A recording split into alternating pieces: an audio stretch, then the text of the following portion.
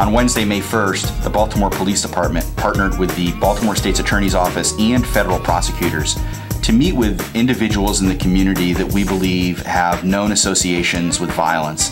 These individuals, who are part of a state probation program called the Violence Prevention Initiative, are believed to be either former victims of non fatal shootings or perhaps, in some cases, even suspects in shooting cases in Baltimore. The purpose of the meeting was to have these individuals meet with prosecutors and explain the consequences of continuing to perpetuate gun violence in the city. Federal prosecutors explained the harsh sentences that would go along with these offenses in federal court, and state prosecutors explained what would happen in the state system if they were convicted. The Baltimore Police Department partnered with service providers like mortgage lenders, individuals that could offer jobs, and the alternative was to possibly get a fresh start. Start your life over, get a new career, and try to do better for your family and yourselves. Our focus is to prevent violence in the city and prevent people from being killed by gun violence.